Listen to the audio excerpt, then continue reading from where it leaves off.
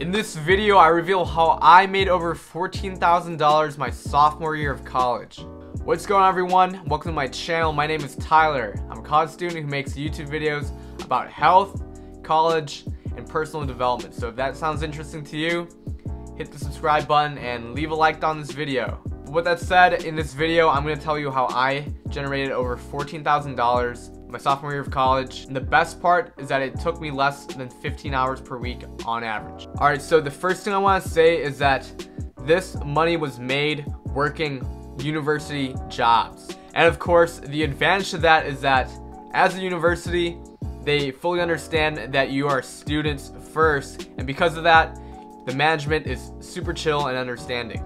In fact, I did this as a full-time student with a pretty heavy course load this year. So this is 100% doable. Don't worry about whether you're going to have enough time or not. All right, so jumping right into this, uh, the way I made $14,000 is with two jobs. The first job was being an info desk assistant. This is basically a job where I'm just sitting around answering questions, uh, collecting lost and found items that people turn in, um, and answering phone calls. Between the two semesters, I worked on average seven hours a week, which equated to $150 a month. Now multiply that by the eight months of school, not including winter break, that equates to roughly $720 after tax money.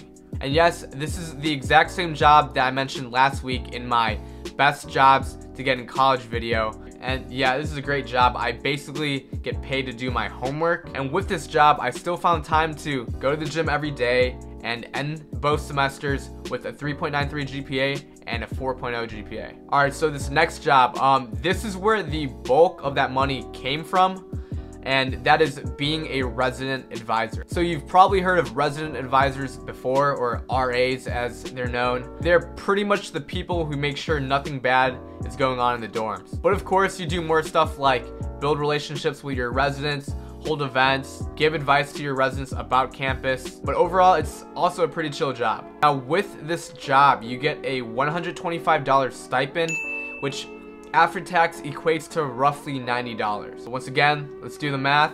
$90 a month times 8 months of school, not including winter break, that is $1,200 revenue.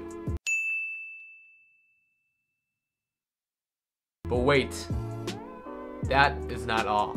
RAs also receive free room and board plus a meal plan. Meaning with this job, the university also pays your housing as well as your meal plan.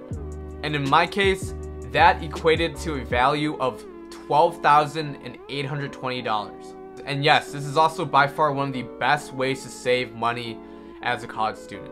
Keep in mind, I was assigned to an old hall with no AC. At most, a single room in the nicest hall with the same meal plan can run almost up to $15,000. Then in terms of the job itself, it's really unique. You, you don't clock in. Time necessary for the job varies week by week, aside from a mandatory two hour meeting every single week. On average, I say I spend roughly seven hours a week on this job. Summing up the three income streams, we have $1,200 from the RA stipend, plus $720 from the info desk, and finally $12,820 for the cost of housing and meal plan, which equates to a value of $14,740. And that is basically how I did it.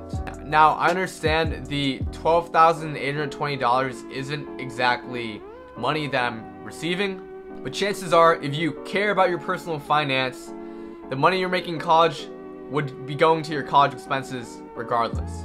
That's basically how I did it. Um, if you enjoyed this video, please leave a like. And if you want me to post more content about this job in particular, the resident advisor job, let me know down below. Subscribe for more of these kinds of videos. Hit the bell to get these videos right to you. And with that said, I'll see y'all in the next one. Peace.